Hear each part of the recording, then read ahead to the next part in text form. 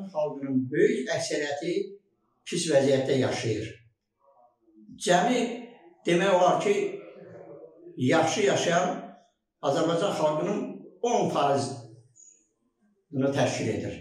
Qalan e, o da şəhərlərdə yaşayan və kəndlərdə yaşayıb, e, rayonlarda yaşayıb müxtəlif biznes fəaliyyəti ilə, kənd təsərrüfatı fəaliyyəti ilə əvvəldən maddi imkanı olub dolananlar yaşaya bilir. Qalanlar isə yenə də çox ağır vəziyyətdə yaşayır. Dəyərli izləyicilər, Təbriz TV efindən sizləri salamlayıram. Efirdə mən Şam Əmin sizinləyəm. Qonağım isə Azərbaycan Xalq Cəbhəsi Ali Məclisinin üzvü Kərim Şükurovdur. Kərim müəllim, xoş gördük sizi. Xoş gördük. Kərim müəllim, bu gün Azərbaycanda əhalinin sosial durumunu necə dəyərləndirirsiniz? Bilirsiniz ki, qiymətlər həddindən artıq bahalaşıb, ərzaq və digər məhsullar çox ciddi artıb qiymətləri.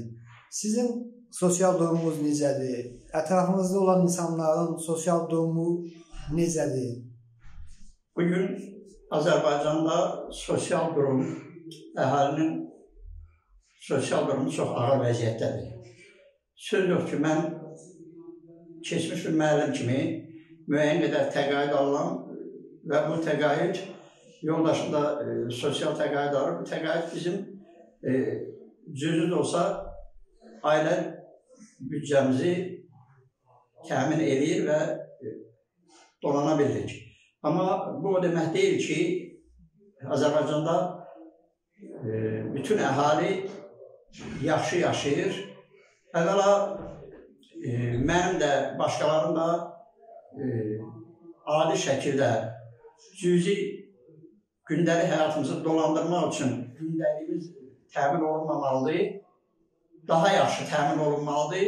Avropa ölkələrində olduğu kimi Azərbaycan xalqı da yaxşı yaşamaq haqq edir. Çünki bizim kifayət qədər e, resurslarımız, təbii sərvətlərimiz, neftimiz, qazımız, daş kömürümüz, qızılımız və s. və ilaxı oldu. E, sonra Azərbaycanda təbii iqlim qurşağı 11 iqlim qurşağından 9-u Azərbaycanda olduğu üçün meşələrimiz, çaylarımız və s. və ilaxı Azərbaycan xalqının daha yaxşı yaşamasına imkan yaradır. Amma buna baxmayaraq Azərbaycan xalqının böyük əksəriyyəti pis vəziyyətdə yaşayır. Cəmi demək olar ki, yaxşı yaşayan Azərbaycan xalqının 10 faizini təşkil edir. Qalan e, o da şəhərlərdə yaşayan və kəndlərdə yaşayıb, e, rayonlarda yaşayıb müxtəlif biznes fəaliyyəti ilə, kənd təsərrüfatı fəaliyyəti ilə əvvəldən maddi imkanı olub dolananlar yaşaya bilir. Qalanlar isə yenə də çox ağır vəziyyətdə yaşayır. Azərbaycanda oliqarxlar, yüksək Çinli məmurlar Azərbaycan əhalisinin pay torpaqlarını mənimsəyib böyük holdinglər yaradır. Sonra çayların suyunu kəsib öz sahələrini suvarır və bunun nəticəsində də e, əhali öz əkdiyi sahələri də suvara bilmirlər. E, bu yaxınlarda saatda baş verən olaylar və saatı cəmaatına qarşı o su tələb edən kiçik bir zümrəyə qarşı Azərbaycan polisinin vəhşiliyi bütün bunları aydın bir şəkildə göstərir. Söz yox, Azərbaycanda iqlim şəraiti, dünyada gedən e, qlobal iqlim şəraiti, hava təbiətin istiləşməsi və suyların, e, çaylarda suyların azalmasına səbəb olur. Amma bütün bunlarla yanaşı oliqarxların da, məmurların da, Azərbaycan hakimiyyətinin də e, insanların pay torpaqlarının əlindən alması insanların daha acınacaqlı vəziyyətə yaşamasına səbəb olur. Buna görə də kəndlərdən, rayonlardan Bakı şəhərinə, paytaxta axım çoxalır və bu axın nəticəsində paytaxtda da sıxlıq yaranır. Elə paytaxtda da e, ağır həmin kasıb zümrə paytaxtda da iş yeri tapa bilmir, e, əməklə fəaliyyətə məşğul ola bilmir. Məşğul olduqları yerdə də bunlara cüzi əmək haqqı verirlər 300-400 manat. Bununla da yaşamaq və ailə dolandırmaq olmaz. Haqqı uğrunda mübarizə aparan insanları da tutub türmələrə basırlar, müxtəlif yollarla onları çəkindirirlər. Kərim müəllim, e, Azərbaycanda dərmanların qiyməti olduqca bahadır. Bu barədə Milli Məclisdə bəzi deputatlar da fikirlərini ifadə edirlər. Hətta bəzi dərmanlar ümumiyyətlə apteklərdə tapılmır. Siz də yəqin ki, apteklərə müraciət edirsiniz. Bu qiymətlərlə nə dərəcədə razısınız? Sizi razı salırmı? Tamamilə düz buyurursunuz. Mən özüm də dərmanlar istifadəçisiyəm. Məndə müxtəlif xəstəliklər var. Məsələn, osteoxondroz, sonra e, qrija deyilən yırtıq var. Sonra başqa-başqa xəstəliklər var və buna görə də e, qan təzyiqi, buna görə də müxtəlif dərmanlardan istifadə edirəm. Elə siz düz buyurdunuz ki, dərmanların qiyməti o qədər bahadır ki, almaq bunu imkanımız, məsəl üçün, deyək ki, orta vəziyyətdə təqaüd alan insanlardan biri, Azərbaycan vətəndaşlarından biri mənəm, amma yenə də bunun təqaüdüm bu dərmanlara çatmır. Məsəl üçün, mən 5 gündə, 6 gündə diabet adlı bir dərmanı axtarıram, aptekdə tapılmır. Nədənsə. Məsəl üçün, yolun qiyməti 40 qəpiyə, 30 qəpiyə olan yolun qiyməti indi 3 dəfə qalxıb 1 manat 20 qəpiyə olur. Devalvasiya gedir. Təbii şəraitdə Azərbaycanda devalvasiya gedir. Yəni birdən-birə devalvasiya, tədricən devalvasiya etməklə insanların qanun sorurlar. 14,7 faiz təqaüdləri qaldırırlar. Göyə ölkədə cəmi 14,7 faiz e, inflyasiya var. Amma əslində inflyasiyanın e, ələ əvvəldən təqaüdlər qalxmamışdan 40-50 faiz inflyasiya olmuşdu. İndi bu 40-50 faizin də üstünə 20-30 faiz gəlib 60-70 faizə çatıb. Deməli, bu çox acınacaqlı vəziyyət yaranır. Ölkədə əhalinin yaxşı yaşamaması, pis vəziyyətdə yaşaması dövlətin özəl təməllərini sarsıdır və ölkəni, dövlətimizi e, xarici güclər qarşısında da zəif vəziyyətə salır. Kərim müəllim, e, dediyim kimi bəzi deputatlar Milli Məclisdə ölkə əhalisinin sosial durumunun aşağı olduğunu qeyd etsə də, ancaq e, Baş nazir Əli Əsədovun 2022-ci ilə dair hesabatını qənaətbəxş hesab edərək hesabatı qəbul etdilər. Bu narazı deputatlar olduğuna rəğmən ümumilikdə Milli Məclis e, niyə bu hesabatı qəbul edir? Nədən çəkinir, nədən ehtiyat edirlər? bilirik ki, e, avtoritar ölkələrdə bir mənalı olaraq e, ölkə başçıları idarə edilir. Və o Milli Məclisdə olan deputatlar da danışıqları onların e, görüntü yaratmaq məqsədi ilə. Çünki o deputatların e, Milli Məclis üzvlərini heç vaxt, heç hansı e, xalqdan səs alaraq seçilməyib. Onlar onlara təyin edilib, ora təyin ediblər. Ona görə də məcburdurlar e, deməli hakimiyyətin göndərdiyi hakimiyyət nümayəndələrinin e, göndərdiyi qərarları e, qeyri-şərtsiz yerinə yetirsinlər. Bax, budur acınacaqları. Orada bir iki deputatın danışıqlarına mən də çıxışlarına qulaq asıram. Müxalifətdən getmiş deputatlar da var. Sonradan e, hakimin Hətta o deputatları deyərəm, xalqın əksəriyyəti heç kim tanımır. Heç ki, mən də tanımıram çoxum. Orada bir ki, müxalifətdən gedən deputatları tanıyıram. Çünki əvvəldən tanıdığım insanlar olub. Qalanlarım heç tanımıram. Adı çəkəndə bilirsən ki, bu adı budur. Onlar xalqdan mandat almayan deputat xalqın xeyrinə heç bir şey həll edə bilməz və avtoritarizm, diktatura ölkənin gələcəyi məhv etməkdədir. Yer gəlmişkən qeyd edim ki, baş nazir həmin hesabatında əhalinin e, gəlirlərinin artdığını, adam başına 13.3 min e, ümumilikdə e, ümumi daxili məhsulun 4.3% artdığını qeyd etdi. Siz bir e, ailə başçısı kimi ailənizdə büdcənizin artdığını müşahidə edirsinizmi? Xeyr, mən mən bayaq da qeyd elədim ki, hələ e, minimumu ödəyə bilən bir ailə kimi mən də bunun artdığını hiss, hiss edirəm. Əksinə azaldığını hiss edirəm.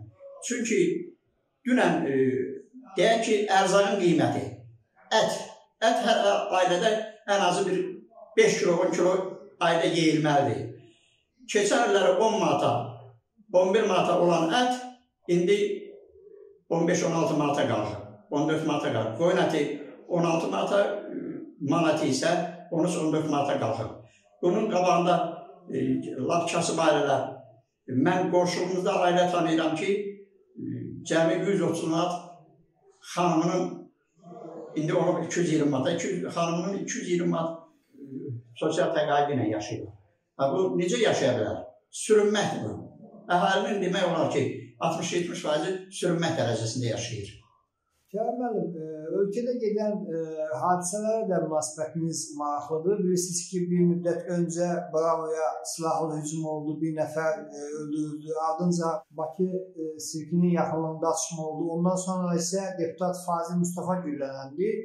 Artıq ə, bu günlərdə açıqlanan məlumata görə ə, ona sui-qəsdə cəhd edənlər saxlanılıbdır. Sizin bu hadisələrə münasibətiniz necədir? Ölkədə bu cür kriminogen durumun ə, e, gərginləşməsinin arxasında nə dayanır? Nədən bu hadisələr baş verir?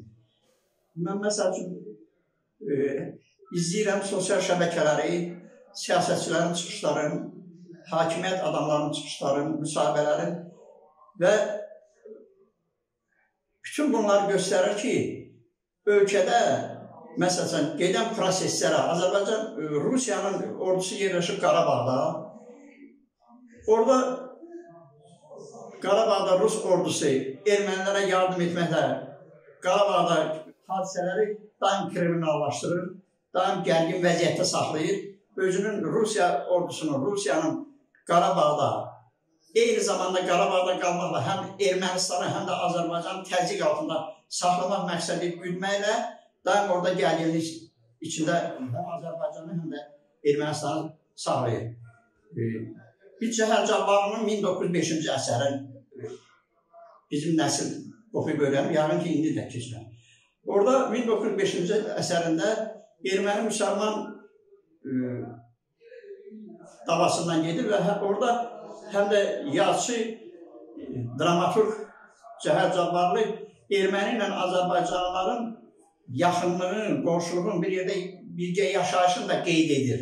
Amma əsər bu sonluqla bitir. Deyir, atan Kazaklardır. Yəni yazıçı bununla işarə edir ki,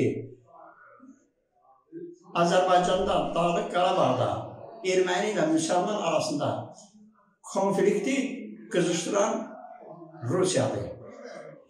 Və bugün bu hallara, ölkədə gedən o kriminal hallara, Azərbaycan hakimiyyəti yüksək səviyyədə e, münasibət bildirməməsi, İranın bizi hədələməsi, Ermənistanın demokratikləşməsi sayəsində Qərbin artıq Ermənistana stavka etməsi, onun mövqeyini müdafiə etməsi bizim Azərbaycan hakimiyyətinin susqunluğudur və zənn edirəm ki, daxildə, Azərbaycanın daxilində olan kriminal durumlarda da Azərbaycan hakimiyyəti daxilində qruplaşmaların bir-biri ilə mübarizəsidir.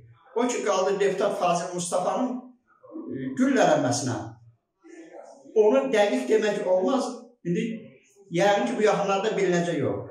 Burada İran izi də ola bilər, amma yenə daxildə ola bilsin ki, Fazil Mustafanın son çıxışları e, hakimiyyətin xoşuna gələ bilməz. Bu zəmində də Fazıl Müstəfəyə qarşı demək olar ki, xəbərdarlıq sui-qəsdi də ola bilər. Ölkədə gedən proseslərə ə, ziyalıların mövqeyini necə dəyərləndirirsiniz? Ziyalı mövqeyi varmı ortada Azərbaycan ziyalıları içərisində? Bu mənim şəxsən çox ağrılı bir yerimdir. Çox təəssüflər olsun ki, Azərbaycanda ziyalıları məhv edirlər.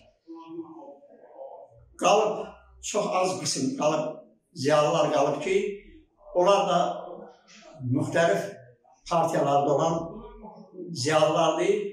O partiyaların da çoxu, 30-a, yəni sahib bilmirəm, 30-a yuxarı partiya var, onun iki partiya meydanda qalıb, Azərbaycan Xalq Cəbhəsi partiyası və Müsavat Darsası, bir də Aliyev, iki daha ola bilsin ki, mənim yadımdan çıxanlar da var.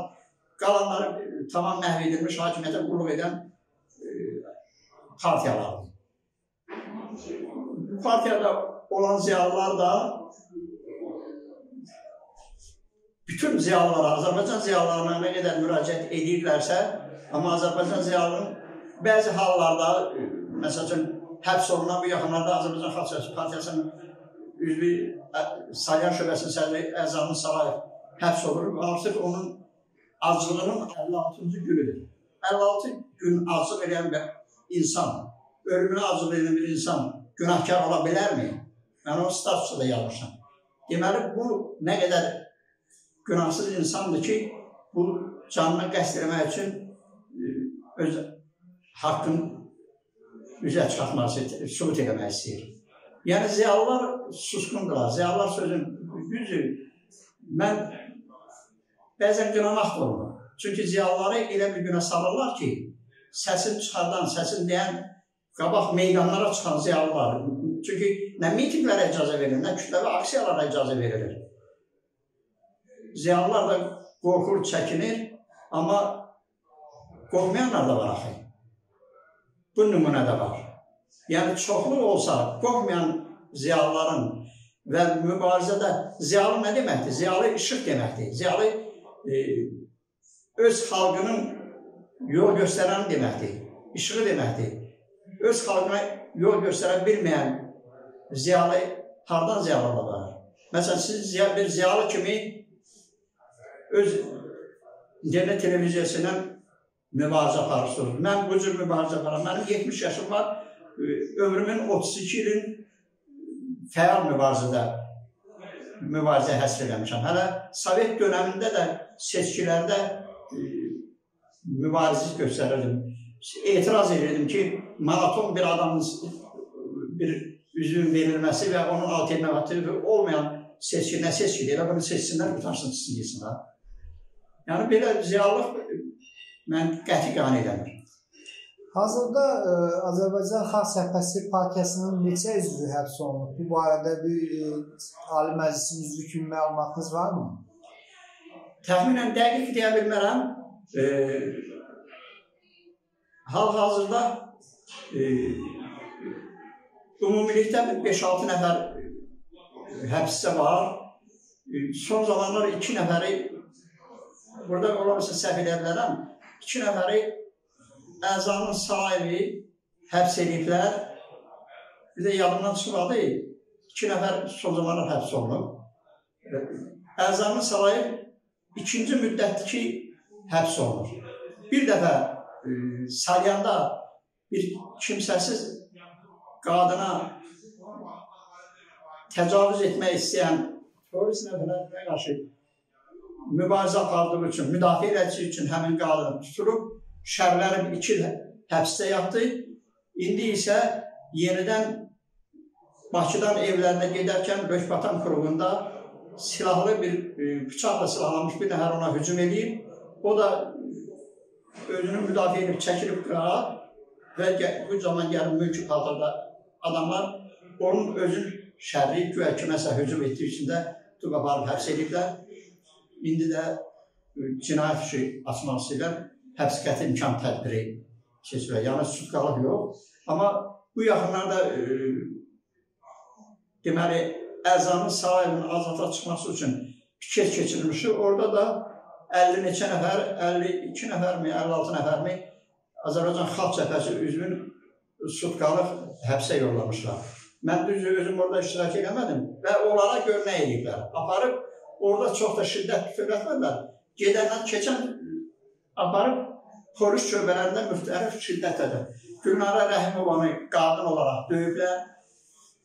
Ona bu yaxınlarda küçə süpürmək cəzası tətbiq edilmişlər, onu da tutmaq istəyirlər. Onu orada şiddətli təhqir ediblər, söyüblər, telefonun əlindən alıblar, sonra da bütün dadlarını silməklə qaytarıblar özünə. Sonra Babək Kəsənini orada Gülnarənin dediyinə görə, mən görməmişəm, vurublar Qarabağ qazisi də bilirsiniz, Babək Kəsənli. Və bütün şiddəti ilə, yəni görünməmiş. Məsələn, keçən piketdə mən özüm də iştirak etmişim. Mən bu, indi dibuka ilə vururlar. Tutdular var bu əlini aşağıdan vurdular. Hələ də sıxdılar. Mənim səsim ucadı, qışqırdım. Ondan sonra buraxdı. Mənə deyir ki, adını demə, adını demə. Adımı da mənə deməyə ehtiyac yoxdur, çünki orada çəkən jurnalistlər hamısı məni tanıyırdılar. Yəni, e, hələ də qolum ağrıyır. Çünki yaşlı adamın izi qalıb. Uzun illərdir AXCP müxalif partiya olaraq fəaliyyət göstərir, e, sosial bazası var, e, etirazlar keçirir, ancaq ciddi bir nəticə yoxdur. Elə e, belə göstərir ki, daima da müxalifətdə qalacaq. Bu gedişatı prosesini necə görürsünüz? AXCP-nin yenidən hakimiyyətə gələcəyi bir gün olacaqmı? Mən onu deyərdim ki, hakimiyyətə gəlmək təkcə e, Azərbaycan Xalq Cəbhəsinin vəzifəsi deyil. İstənilən bir partiya demokratik yolla hakimiyyətə gələ bilər və Azərbaycan Xalq Cəbhəsinin sədri Əlbəy Kərimdə bunu daima vurğulayır. Amma istənilən ölkədə müxalifətin hakimiyyətə gəlməsi üçün mütləq xalqın müxalifətə dəstək verməsidir. Mən bayaq qeyd elədim ki, bizdə çox repressiv bir rejim var. Məsəl üçün, ətraf regionlarda, ətraf ölkələrin heç aslında Az ə, e, Azərbaycanda olan güclü müxalifət kimi müxalifət yoxdur. Bunu dəfələrlə Əli bəy də başqa siyasətçilər də qeyd edib. E, nə Ermənistanda və dünya siyasətçiləri də, dünya dövlətləri də bunu qeyd edir. Məsəl üçün, e, gərək ki, CBC televiziyası İnqilabı necə etməli adlı İngiltərəndə İnqilabı necə etməli adlı bir film çəkir. Orada məhz Azərbaycanda olan müxalifətin inqilab taktikasını, mübarizə taktikasını bütün regionlardan üstün göstərir. Və göstərir ki, Azərbaycanda keçirilən mitinqlərdə bütün təbəqələrdən olan şəxslər iştirak edir. Qocalar, cavanlar, orta yaşlılar, ziyalılar, qeyri-ziyalılar, yəni təmsil edir. Ermənistanda olan inqilabda, Ukraynada olan inqilabda hamısı birbaşa hakimiyyətin imkan verdiyi səviyyədə olur. Yəni bizdə hakimiyyət çox diktatorial olduğuna çox qəddar yanaşır, mübarizələrə çox qəddar yanaşır Ona görə də insanlar gözün qorxuduqlar. Mən qeyd elədim ki, səhər-səhər bir status yazmışdım. Orada yazmışdım ki, insanlar siyasiləşməlidir. Biz siyasətə qarışmasaq, siyasət bizə qarşılar özü pis şəkildə, daha qəddar şəkildə. Çünki ölkələrdə, istənilən ölkədə, demokratik ölkələrdə də hakimiyyət görür ki, xalq siyasətlə məşğul olmur, ona görə də özün əziyyətə salmayıb daha asan yolla ölkəni idarə edir. O ki, qaldı bizim kimi dövlətlərdə, bizim kimi ölkələrdə bu daha çox lazımdır. İnsanların siyasiləşməsi, siyasətə qatılması və öz haqlarının uğrunda mübarizə aparması. 2019-cu il yanvar e, mitingində siz müşahidə et, etmiş olasınız. Cəmi 25-30 min insanın meydana çıxması ilə özüm də daxil oradaydım. Hakimiyyət ən e, üst zamanda 5-4 min milyard manata qədər güzəştə gedib müxtəlif pensiyaları qaldırdılar, maaşları qaldırdılar, müxtəlif edilər. Məsəl üçün, bugün qonşu Ermənistanda, Gürcistanda uşaq pulu verilir, amma bizim ölkədə verilmir. Adamlar buna öz haqları uğrunda da mübarizə aparmağa Mən təqaüdlərin qaldırılması haqqında bir status yazıram. görürəm ki, buna adekvat reaksiya verilmir, bəyəndim deyirəmlər. Yəni qorxurlar. Xalq nə qədər qorxu hissini atmayacaqsa, vəziyyət belə olacaq. Qoşulmalıdır ya partiya şəklində, ya elə müxalifətin keçirdiyi mitinglərdə qoşulmaqla, piketlərə qoşulmaqla öz haqları bununla mübarizə. Tək bir partiyanın, tək bir təşkilatın işi deyil bu. Xalqın ə, meydana çıxması. Çox nümunələr var ki, bütün dünya başqa ölkələrdə xalqlar ayağa qalxıb, xalqlar ayağa qalxandan sonra müxalifət onun başına gəlir. Düzdür, xalqların parakəndə qeyri-demokratik şəkildə də mübarizəsi pis nəticələr verib, bunlara da nümunələr çoxdur. Amma əsas o ölkələr azadlığına qovuşa bilib ki, o xalqlar demokratik azadlıqlara qovuşa bilib ki, orada sivil mübarizə aparıb həm xalq, həm də müxalifət və hakimiyyət dəyişikliyinə nail olur. Çox sağ olun Kərim müəllim, təşəkkür edirəm. Sizə sağ olun, mən də sizə təşəkkür edirəm.